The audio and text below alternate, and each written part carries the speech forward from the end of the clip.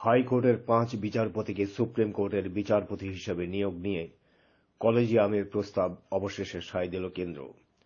প্রায় দুমাস কেন্দ্র ও সুপ্রিম কোর্টের টানাপোড়েনের পর শনিবার এই প্রক্রিয়া সম্পন্ন করে কেন্দ্রের বিজেপি সরকার। সময় বেঁধে নিয়োগের হুঁশিয়ারি দিয়ে কড়া অবস্থান নিয়েছিলেন বিচারপতিরা।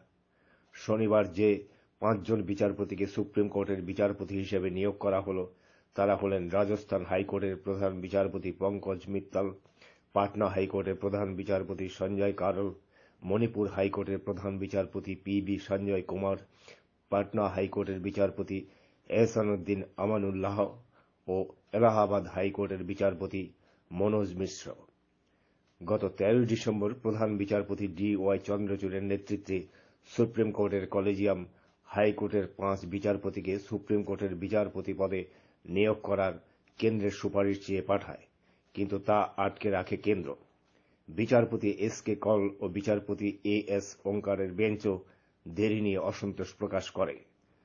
কলেজিয়াম নিয়ে দীর্ঘদিন টানাপোড়েন চলতে থাকলে তেসরা ফেব্রুয়ারি সুপ্রিম কোর্টের তরফে কড়া বার্তা পাঠানো হয় কেন্দ্রকে।